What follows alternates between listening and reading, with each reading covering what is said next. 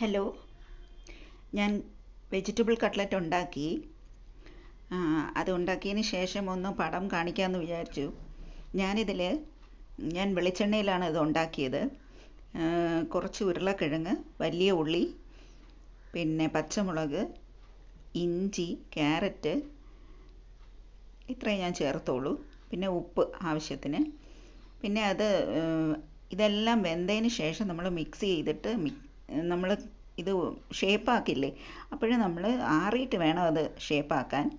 ഏത് ഷേപ്പിൽ വേണമെങ്കിലും ഉണ്ടാക്കാം. ഇതിപ്പോൾ എന്റെ ഓരോ കട്ട്ലറ്റിനും പല പല ഷേപ്പുകളാണ്. സാരമില്ല കുഴപ്പമില്ല. ചിലർ ഇതിൽ സോസ് കൂട്ടി കഴിക്കും. എനിക്കത് ഇഷ്ടമില്ല. പിന്നെ ഇത് കംപ്ലീറ്റ് വെജിറ്റബിൾ കട്ട്ലറ്റ് അല്ല. എന്താണെന്ന് വെച്ചാൽ അത് മുട്ടയിൽ ചേർത്താണ് ഞാൻ അത് മുക്കിയെടുത്തത്.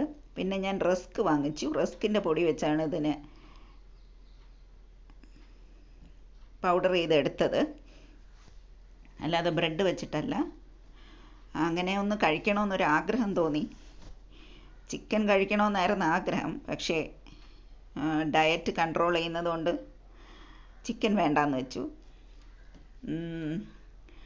അപ്പോൾ ഇനി ഞാൻ കഴിക്കാൻ പോവുകയാണ്. ഇനി കോഫിയും കൂടെ ഉണ്ടാക്കും. ബ്ലാക്ക് കോഫി നല്ല